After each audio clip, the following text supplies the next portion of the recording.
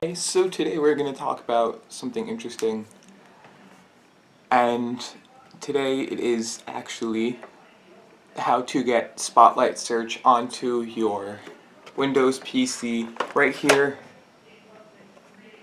I have my HP, I hope that actually focused, but I have my HP laptop. This is the only laptop I have. I have a really old desktop someone gave me that I'm going to be using set up at some point or another. I, down, I installed Windows 10 on there. I'll show how I actually did that.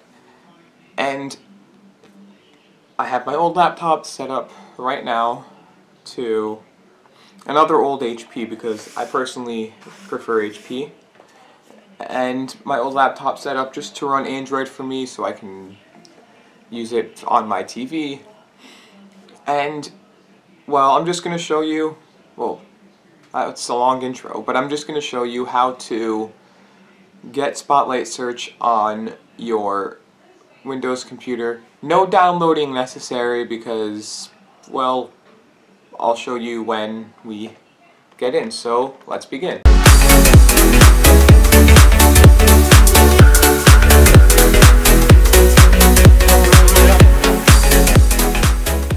So, you know how I said that there were no installations? Well, that is true because all you need to do is go down to the bottom of your PC by the task uh, the taskbar.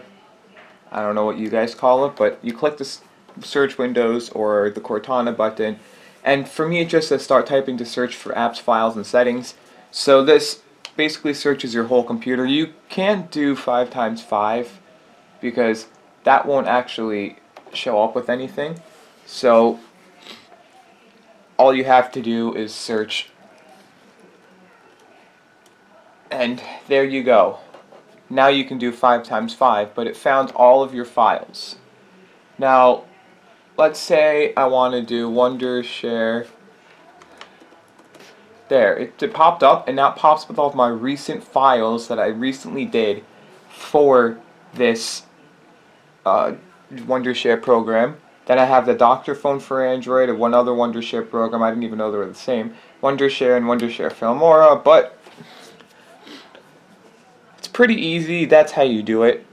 And I mean, there's not much more than that. So yeah, let's just go back.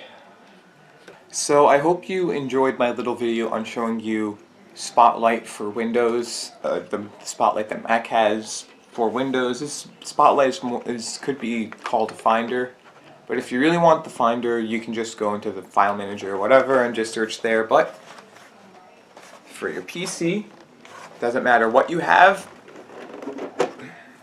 that is just the basic Finder that you can get. There are programs out there that do more, but if you don't want to download anything, that's Finder. So, thumbs up. Comment down below what you want to see for your computer next. And, and subscribe, hit that bell, make sure that you get notified of my, of my future videos, and enjoy the rest of your day.